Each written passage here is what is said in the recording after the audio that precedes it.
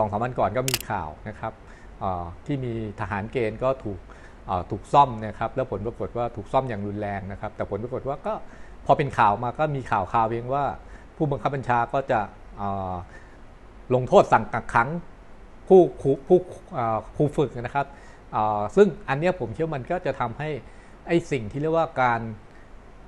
ทำร้ายนะครับ การทำร้ายไม่ว่าจะโดยแตะเนื้อต้องตัวหรือเปล่าเนี่ยมันจะเกิดขึ้น ไปเรื่อยๆนะครับผมคิดจะเกิดขึ้นไปเรื่อยตราบเท่าที่ยังไม่มีความจริงจังที่เราจะมีการป้องกันนะครับ รวมไปถึงผมคิดมันมี 2 ส่วนส่วนนึงคือการป้องกัน กับอีกส่วนหนึ่งก็คือการทำให้เกิดความรับผิดชอบเกิดขึ้นกรณีที่ไม่ว่าจะเป็นการบาดเจ็บ หรือกรณีที่ล้มตายก็ตาม ต้องทำให้เกิดความรับผิดชอบ เกิดขึ้นอย่างจริงจังนะครับ ถ้าตราบเท่าที่ยังไม่มีการทำให้เกิดความรับผิดอย่างจริงจังเนี่ยผมคิดว่าปรากฏการณ์แบบนี้เนี่ยมันก็จะเกิดขึ้น ซ้ำแล้วซ้ำอีก ผมเชื่อโดยเฉพาะอย่างยิ่งกับทหารเกณฑ์เนี่ยอ๋อผมจะต้องพูดกันว่ากับทหารเกณฑ์เนี่ยจะเป็นกลุ่มคนที่มักจะเกิดเหตุการณ์แบบนี้ขึ้น และถ้าจริงๆเนี่ยผมเชื่อนี่คือกลุ่มคนที่เสียงไม่ดังอะผมเชื่อคือกลุ่มคนที่เสียงไม่ดังเพราะว่าส่วนใหญ่ผมเชื่อจะเป็นลูกลูกแบบที่เราเรียกคือลูกชาวบ้านอะ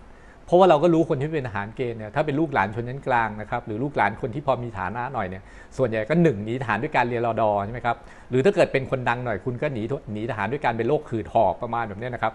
คือเพราะนั้นมันก็จะเหลือคนจำนวนหนึ่งนะครับคือลูกหลานของชาวบ้านนี่แหละชาวบ้านธรรมดาธรรมดาเข้าไปนะครับแล้วก็มักจะถูกถูกดำเนินการถูกปฏิบัติอย่างที่ทำให้เกิดอะไรล่ะเป็นข่าวข่าวคือแล้วส่วนใหญ่คนพวกนี้ผมคิดว่าเสียงไม่ดังอะ คือหมายความว่าเกิดเหตุขึ้นเสียงไม่ดัง จะมีบางกรณีที่เสียงดังนะครับ จึงค่อยมีการดำเนินการกันอย่างจริงจัง เพราะนั้นผมคิดสองส่วนที่มันคงต้องคิดถึงเนี่ยคือคิดถึงในแง่ของการป้องกัน และคิดถึงในแง่ของการทำให้เกิดความรับผิดตอนนี้เนี่ยในแง่ของการป้องกันเนี่ยแม้ว่าทางคือทั้งสองส่วนนี้มันสัมพันธ์กันคือ แม้ว่าในแง่ของการป้องกันเนี่ยจะมีพยายามมีมาตรการจาก หน่วยงานต่างๆนะครับที่บอกว่าต่อไปนี้ห้ามมีการแตะเนื้อต้องตัวอะไรแบบนี้นะครับห้ามมีการแตะเนื้อต้องตัวทหารเกณฑ์หรือผู้อยู่ภายใต้บังคับบัญชาอะไรก็ตาม แต่เราพบเอาเข้าจริงมันก็ยังมีอยู่นะครับมันยังมีอยู่แล้วพอเรามันเกิดเหตุขึ้นเกิดเหตุการณ์ความรุนแรงเกิดขึ้น ซึ่งอาจจะบาดเจ็บหรือล้มตายก็ตามเนี่ยไอ้สิ่งที่เขาความรับผิดชอบเนี่ยมันก็มีอยู่เบาบางมาก มีอยู่เบาบางมาก อาจจะมีเฉพาะในบางเหตุการณ์ในบางเรื่องเท่านั้น มันไม่ได้เกิดขึ้น ไม่ได้เกิดขึ้นอย่างที่ทำให้เห็นว่ามันมีความรับผิดชอบเกิดขึ้นอย่างจริงจังครับ คือมันจะมีความรับผิดเนี่ยอย่างน้อยเนี่ยใน 2 แบบด้วยกัน แบบแรกคือความรับผิดทางอาญา ความรับผิดทางอาญาคือหมายความว่า เป็นความรับผิดฐานที่ทำให้คนตายนะครับ สมมุติว่าเป็นผู้คุมเนี่ยทำให้คนตายเป็นผู้บังคับบัญชาทำให้คนตายเนี่ยเป็นความรับผิดทางอาญา ซึ่งความรับผิดทางอาญาเนี่ยเกิดขึ้นได้ยากมาก เกิดขึ้นได้ยากมาก เพราะว่า ในกรณีที่กรณีที่เกิดการตายเกิดขึ้นแบบนี้นะครับก่อนหน้านี้เนี่ยมันเป็นเรื่องที่เจ้าหน้าที่รัฐจะเป็นผู้ดำเนินการตำรวจเป็นผู้ดำเนินการนะครับ แล้วก็ส่งให้อัยการแล้วไปขึ้นศาลอาหาร เราจะพบว่าก่อนหน้าที่มีพรบพระราชบัญญัติซ้อมซ้อมทรมานเนี่ยนะครับเจ้าทุกข์ไม่สามารถเป็นผู้เสียหายไม่สามารถฟ้องร้องคดีได้ตัวเองเพราะนั้นจึงมีเรื่องของตำรวจนะครับ แล้วก็ไปขึ้นศาลหาร ซึ่งหมายความว่าถ้าเกิดทางเจ้าหน้าที่ของรัฐเนี่ยไม่ได้ดำเนินการอย่างจริงจัง เราจะพบว่าหลายคดีเนี่ยออมันมันแทบไม่รู้เลยว่ามันเกิดมันมีผลการดำเนินการต่ออย่างไร ผมยกตัวอย่างเช่น กรณีของนักเรียนในร้อยตำรวจ ซึ่งเกิดเหตุขึ้นเมื่อห้าหกปีก่อน นักเรียนนายร้อยตำรวจนะครับโทษทีนักเรียนนายร้อยนักเรียนเตรียมทหารนะครับ ที่เสียชีวิตจากการถูกทำลงวินัยนะครับ จนถึงบัดนี้เนี่ย เราไม่รู้เลยว่าคดีมันอยู่ที่ไหน ผมสอบถามญาติ ผมสอบถามญาติของผู้เสียหายไปเมื่อสักสองปีก่อนเขาบอกเขาก็ไม่รู้ว่าคดีตอนนี้ถึงไหน คือหมายความว่ามันไม่มีความคืบหน้าอะไรให้เห็นเลย ในทางอาญาเนี่ยน้อยมากที่จะเกิดความรับผิดเกิดขึ้นนะครับ ถ้าสมมุติเรานึกตัวอย่างนะครับ เช่นกรณีของชัยภูมิป่าแสนักกิจกรรมที่เป็นกลุ่มชาติพันธุ์นะครับ ซึ่งซึ่งเสียชีวิตไปเนี่ย ในทางอาญาก็ไม่สามารถทำให้เกิดความรับผิดได้ เพราะนั้นในแง่ของทางอาญาเนี่ยผมคิดว่าเป็นไปได้ค่อนข้างยากนะครับ แต่นี่อีกอันหนึ่งเนี่ยคือความรับผิดทางแพ่ง ความรับผิดทางแพ่งคือหมายว่าการเรียกร้องค่าเสียหาย กรณีการเรียกร้องค่าเสียหายเนี่ยมีบางคดีที่สามารถเรียกค่าเสียหายได้นะครับ เช่น กรณีอของชัยภูมิป่าแสเนี่ยก็มีการฟ้องเป็นค่าเสียหายความรับผิดทางละเมิดนะครับ อันนี้ได้ทางศาลฎีกาก็ตัดสินว่าให้มี การเยียวยานะครับค่าใช้จ่ายทดแทนการเสียหายเนื่องจากการละเมิดเนี่ยเป็นจำนวนเงินประมาณ 2 ล้านนะครับเป็นจำนวนเงิน2ล้านออมีบางคดีที่ผู้เสียหายหรือญาติของผู้เสียหายเนี่ยดำเนินการแล้วก็ได้รับการได้รับการเยียวยานะครับ แต่แต่ผมอยากจะออย้ำนิดนึงว่าแบบนี้ ไม่ใช่เรื่องง่าย ในการดำเนินคดีเนี่ยไม่ใช่เรื่องง่าย เพราะว่า ทั้งในแง่ของพยานหลักฐานเนี่ยส่วนใหญ่นะครับคดีที่ทหารเกณฑ์นะครับ หรือคดีที่เป็นคนที่เป็นเจ้าหน้าที่ของรัฐแล้วถูกกระทำการถึงแก่ความตายหรือบาดเจ็บเนี่ยส่วนใหญ่มักจะเกิดขึ้นในสถานที่ปิด เช่นในค่ายทหาร เพราะนั้นการหาพยานหลักฐานเนี่ยไม่ใช่เรื่องง่ายเพราะพยานหลักฐานนะครับมันอยู่ในความครอบครองเจ้าหน้าที่รัฐทั้งหมดอะเช่น ไปหากล้องกล้องกล้องวงจรปิด ก็มันก็อยู่กับความดูแลของทหารยิ่งถ้าเกิดผู้บังคับบัญชา ผู้บังคับบัญชาเป็นคนทำเนี่ย ไหนเลยที่เราจะเข้าไปเข้าถึงหลักฐานต่างๆเหล่านั้นได้ หรือแม้กระทั่งพยานกระทั่งพยานออมีทหารเกณฑ์เคยถูกซ้อมตายนะครับ ถูกซ้อมถูกซ่อมจนตายแบบนี้คำถามคือว่าทหารเกณฑ์เพื่อนทหารเกณฑ์ที่เห็นเหตุการณ์เนี่ยจะกล้ามาให้ปากคำปลักปำครูฝึก ว่าเป็นคนกระทำกันนั้นเหรอออบางคดีที่ผมไปสังเกตการณ์เนี่ยตอนเกิดเหตุนะครับเขาอาจจะบอกว่าเห็นนะครับ แต่ว่าพอหลังจากเหตุหลังจากนั้นนะครับ เช่นต้องไปเข้าสู่กระบวนการยุติธรรม จะพบว่าพยานก็จะเริ่มให้ปากคำที่แตกต่างออกไปจากภายหลังเหตุการณ์ เพราะนั้นในแง่นี้เนี่ยพยานหลักฐานในคดีเรื่องพวกนี้ไม่ใช่เรื่องง่าย เพราะนั้นคดีบางคดีที่ต่อให้มีการเรียกร้องค่าเสียหายในทางแพ่งเนี่ยก็ไม่ได้หมายความว่ามันจะเกิดขึ้นได้ง่าย และนอกไปอย่างนั้นนะครับ ผมคิดว่ามีอีกสองเรื่องที่ต้องพูดถึงกันก็คือว่า เช่น กรณีชัยภูมิป่าแสคุณกรณีของชัยภูมิป่าแสนะครับซึ่งเรื่องเกิดขึ้นมา 6-7 ปีแล้วเนี่ยสุดท้ายศาลฎีกาเป็นคนสั่งให้ชดใช้กองทบกชดใช้นะครับ ประมาณ 2 ล้านบาทคำถามคือว่า 2 ล้านบาทเงินใคร เงินภาษีประชาชนนะครับ 2 ล้านบาทนี่คือเงินภาษีประชาชนนะครับ แปลว่า การตายที่เกิดขึ้นภายในความรับผิดของทหาร พวกเราทั้งหลาย คือพวกที่ ไปร่วมกันจ่ายเยียวยา ถามว่านี้อันนี้ถูกต้องไหมผมคิดว่านี้ไม่น่าจะถูกต้อง ในขณะที่ผู้บังคับบัญชาซึ่งเคยยืนยันว่าการกระทำของอทหารเนี่ยในการที่ทำให้ชัยภูมิป่าแสตายเนี่ยนะครับก็ได้รับการเลื่อนขั้น มีความเจริญก้าวหน้าไปจนทั้งถึงเกษียณอายุขึ้นเป็นระดับในพลไป จนกระทั่งเกษียณอายุ ได้ดิบได้ดีไป บทลงโทษในทางแพ่งที่มีมันลงโทษกับประชาชนนะครับ มันลงโทษกับพวกเรา เพราะว่าพวกเราต้องเป็นคนควักตังค์จ่าย อันนี้เรื่องแรก กับอันที่สองเนี่ยผมเชื่อเป็นปัญหาคือว่า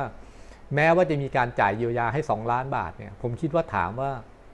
สำหรับชีวิตหนึ่งเนี่ยนะครับเป็นเด็กหนุ่มอายุประมาณสิบเจ็ดสิบแปดเนี่ยสูญเสียชีวิตไปแล้วได้รับการเยียวยาสองล้านเนี่ย คุ้มหรือเปล่า ผมคิดว่ามันคุ้มคำถามคือมันคุ้มหรือกับชีวิตหนึ่งด้วยเงิน2ล้าน ผมคิดว่า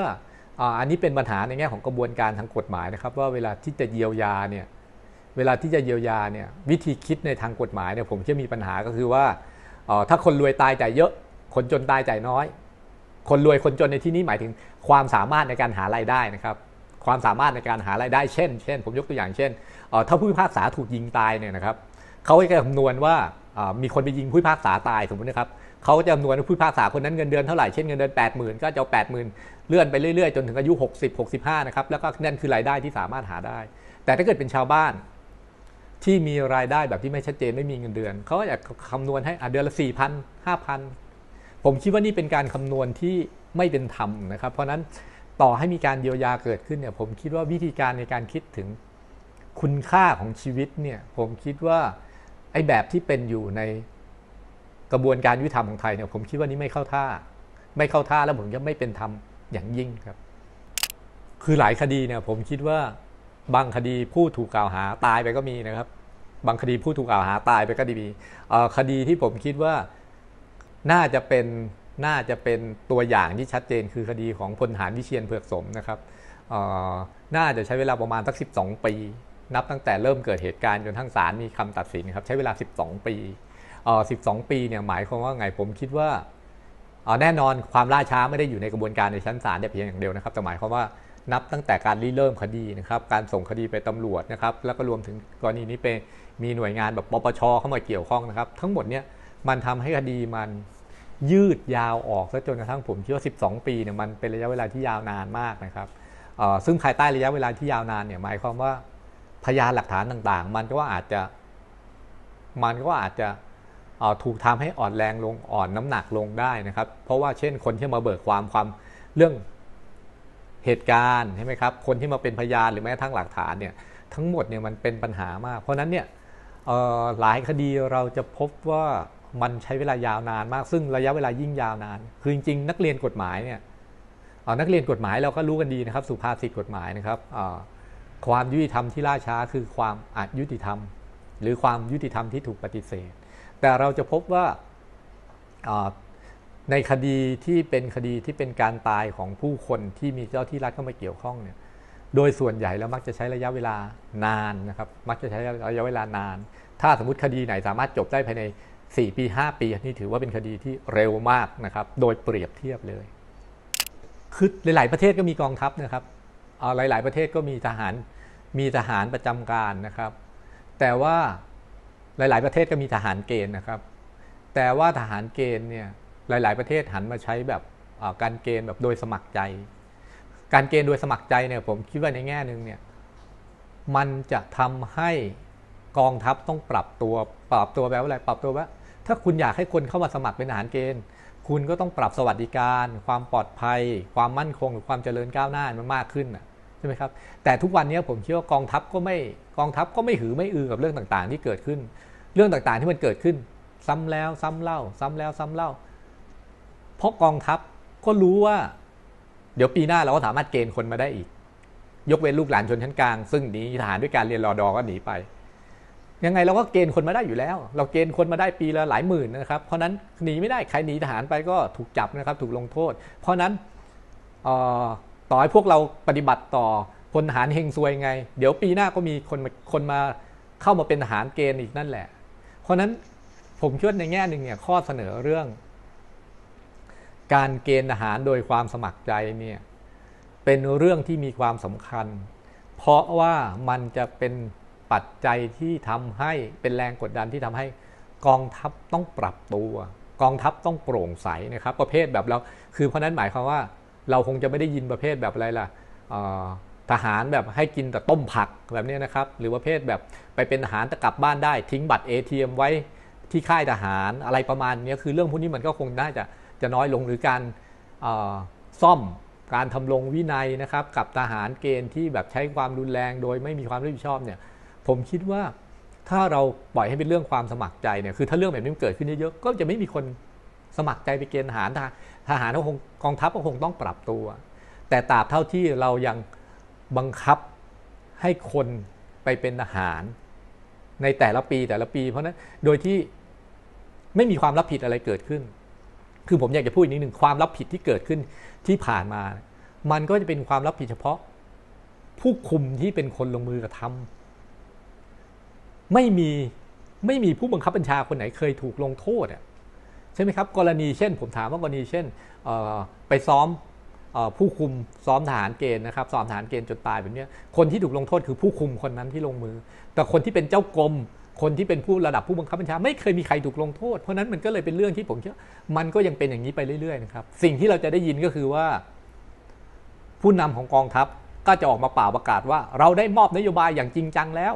ใช่ไหมครับกับผู้บังคับบัญชาในระดับล่างๆแต่คือโทษทีนะ พวกมึงไม่ลงโทษอะไรกันเลยอะ่ะคือคนที่จะถูกลงโทษคือคนที่ทำแล้วถูกจับได้ทำราวกับว่าไม่สัมพันธ์กับผู้บังคับบัญชาในระดับ ในระดับสูงขึ้นนะถ้าสมมติผมถามนะเช่น ถ้าเกิดเจ้ากรมนะคนที่มันใหญ่ในค่ายเนี่ยโดนย้ายหรือโดนลงโทษด้วยเนี่ย ผมถามว่าเขาจะใส่ใจมากขึ้นแล้วเขาต้องใส่ใจ แต่เพราะว่าคนที่โดนลงโทษคือคนที่ลงมือเท่านั้น เพราะนั้นเรื่องแบบนี้มันก็จะเกิดขึ้นซ้ำแล้วซ้ำอีก เพราะนั้นเนี่ยถ้าถามผมเนี่ยผมเชื่อเราต้องคิดถึงการระบบทหารเกณฑ์ แบบสมัครใจอย่างจริงจังกันเพิ่มมากขึ้น เราต้องเรียกร้องกับพรรคการเมืองนะครับ เราต้องเรียกร้องกับพรรคการเมืองมากให้มากขึ้นนะครับ โดยเฉพาะยิ่งพรรคการเมืองที่รับผิดชอบเกี่ยวเรื่องเกี่ยวกับเรื่องนี้คนที่มาเป็นรัฐมนตรีกระทรวงกลาโหมนะครับ ยกเว้นคุณสุทินนะครับยกเว้นคุณสุทินรัฐมนตรีกลาโหม ซึ่งผมเชื่อเราอย่าคาดหวังกับแกเลยนะครับ ผมเชื่อเราไปต้องไปกดดันกับพรรคการเมืองนะครับเพราะคุณสุทินเนี่ย